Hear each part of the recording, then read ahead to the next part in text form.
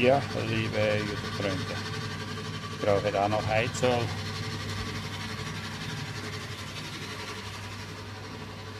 Für meine Kellerbar. Ich habe hier ein Ölfat, äh, da hole ich da 150 Liter und das reicht dann für ein paar Anlässe, um meine Kellerbar zu heizen.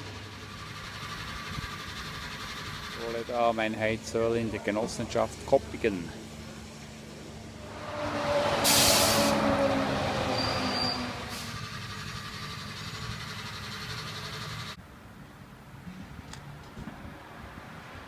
Fünfundneunzig Rappen der Liter.